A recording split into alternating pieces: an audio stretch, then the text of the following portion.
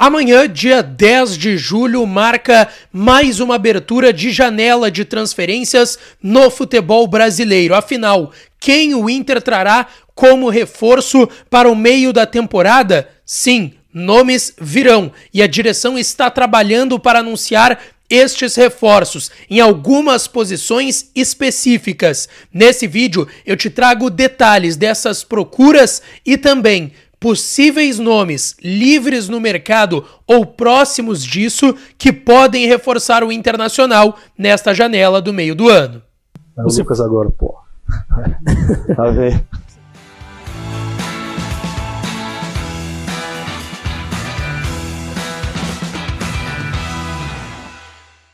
Fala minha rapaziada, sejam bem-vindos a mais um vídeo aqui no canal Lucas Dias Repórter. Nesse vídeo um conteúdo diferente, possíveis nomes que podem reforçar o Inter, nomes livres no mercado que têm mais condições de chegarem ao estádio Beira-Rio. E tu pode deixar tua opinião também nesse vídeo colocando nos comentários os nomes que tu está sugerindo para o Colorado e que eu não citei nesse vídeo. Um conteúdo diferente aqui no canal Lucas Dias Repórter. Antes, não te esquece, deixa o teu like no vídeo, te inscreve no canal e ativa o sininho das notificações por aqui. E é claro que esse conteúdo e todos os outros têm o apoio de KTO KTO.com, a melhor casa de apostas do país. Aproveita o código DIAS para tu ganhar 20% de free bet no teu primeiro depósito. Logo mais tem Espanha e França pela Eurocopa. Hoje à noite tem semifinais também, não só da Eurocopa à tarde com Espanha e França, mas à noite tem da nossa Copa América. Tem Argentina em campo. Corre lá na KTO para também ganhar uma graninha, tá certo?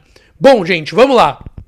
Eu quero aqui citar sete nomes. Aliás, oito nomes que poderiam jogar no Internacional dentro das posições que o departamento de futebol procura. Lembrando, amanhã a janela de transferências abre. É a maior janela do ano, agora essa do meio do ano, a partir do dia 10 de julho, amanhã, quarta-feira, até o dia 2 de setembro, os clubes poderão se reforçar aqui no futebol brasileiro, assim como poderão vender, fazer negociações e acabar perdendo jogadores nos seus elencos. Bom, eu separei aqui alguns nomes dentro das posições que o Inter já esclareceu que procura reforços. Começando pelo sistema defensivo, na zaga, um nome que o Inter já procurou e tentou a contratação em outra oportunidade. André Ramalho, jogador de 32 anos que fez a sua carreira principalmente no futebol europeu e na última temporada esteve defendendo o PSV da Holanda. Há três anos já ele joga três temporadas no PSV da Holanda. Na última temporada foi titular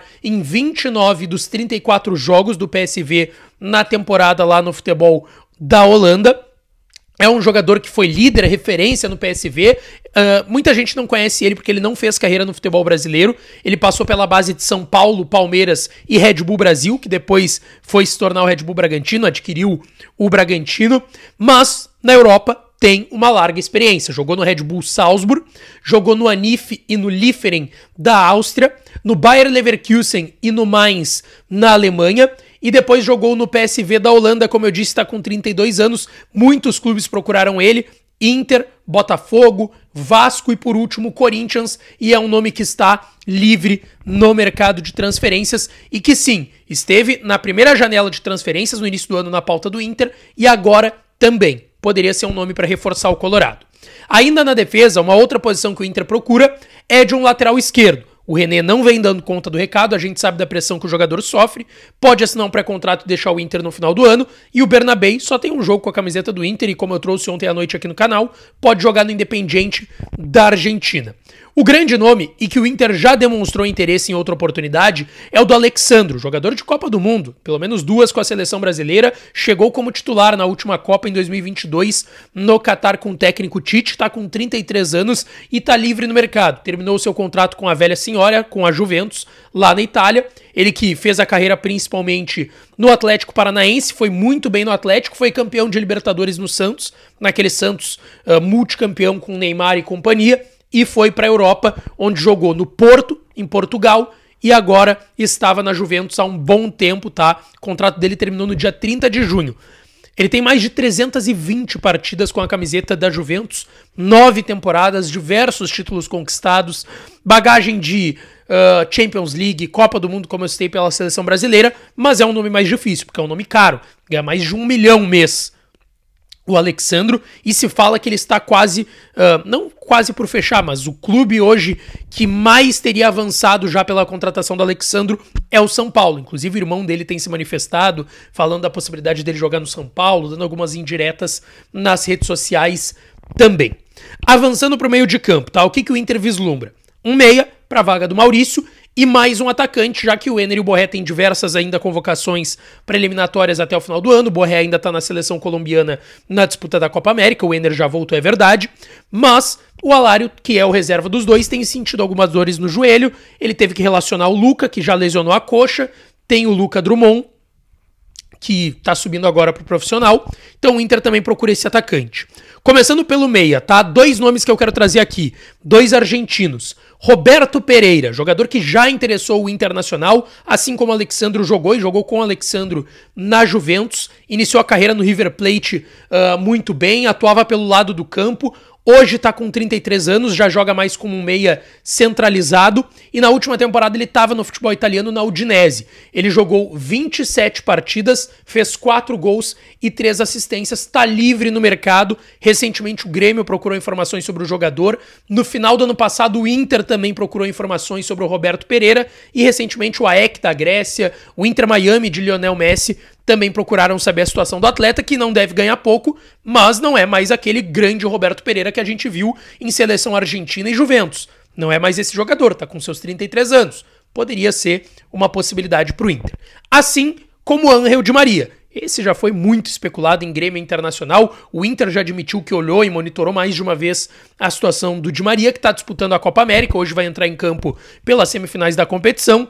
Seu contrato está encerrando com o Benfica, ele não vai ficar na, na, no, no, na Europa, no futebol português possivelmente. Se fala do Besiktas na Turquia tentando, clubes do Brasil também, mas a gente sabia que o grande desejo do Di Maria era retornar para o Rosário Central, voltar a jogar no futebol argentino e no clube que o projetou, e que é o adversário do Internacional nos playoffs da Sul-Americana a partir da próxima terça, dia 16. Na última temporada no Benfica, 48 jogos, 17 gols e 13 assistências. A gente sabe, dessa lista que eu vou citar, é o grande nome dessa lista, tá? Seria um meia para chegar e mudar o Inter de patamar e ser titular. Não, não vamos pensar que a gente uh, teria aí um Inter trazendo de Maria para ser reserva aqui em Porto Alegre. Então, assim, grana seria um dificultador, mas é um nome que está livre no mercado. Quem sabe o Inter tentando aí, como fez negociações pelo Ener Valência, que ninguém esperava, pelo Borré, pelo Alário, quem sabe o de Maria possa ser mais um nome nessa pauta. Bom, Avançando para ataque, eu quero trazer dois nomes, tá? Daverson, que o Inter olhou a situação, mas achou muito caro. O jogador não vai ficar no Cuiabá, já pode assinar um pré-contrato. O Grêmio estava fechando e chegou a se acordar com o jogador, mas ele não conseguiu a liberação 100% do Cuiabá e até o momento não acertou com o novo clube é uma possibilidade, porque ele vai ficar livre no mercado ou, no mínimo, pode assinar um pré-contrato e tentar negociar uma liberação antecipada lá no Cuiabá, porque ele não está mais sendo utilizado, brigou com a direção, enfim, é um nome o Daverson também.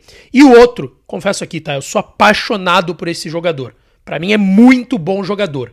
Luciano Vieto, 30 anos, argentino, que todo mundo passou a olhar quando ele estava no Al-Hilal e pegou o Flamengo, destruiu o Flamengo naquele Mundial de Clubes que o Flamengo foi eliminado com o Vitor Pereira nas semifinais, mas é sim muito bom jogador, ficou lá pelo futebol árabe, ele rodou bastante, tá? E eu lembro dele ainda quando eu era pequeno de ver ele jogando no Vigia Real, jogando no Sevilha, jogou no Atlético de Madrid, na Espanha. Ele começa a carreira mesmo no futebol argentino no Racing, joga pela base do Racing e pela base do Estudiantes. Ele começa na base do Estudiantes, joga na base do Racing, vai pro profissional do Racing e aí constrói a carreira no futebol europeu, jogando no Vigia Real, que é onde ele tem o prim primeiro destaque.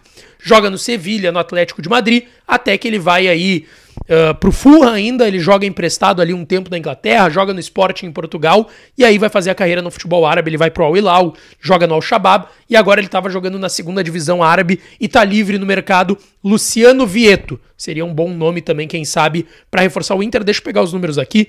17 gols em 33 jogos na segunda divisão do futebol árabe, lá no futebol saudita, onde tá o Luciano Vieto. Tu tem um outro nome que tu, que tu gostaria de sugerir pro Inter? Deixa aqui nos comentários, vamos interagir e trocar essa ideia. E claro, não te esquece de deixar o like no vídeo, te inscrever no canal e ativar as notificações por aqui, tá certo? Um beijão, um abraço e até a próxima.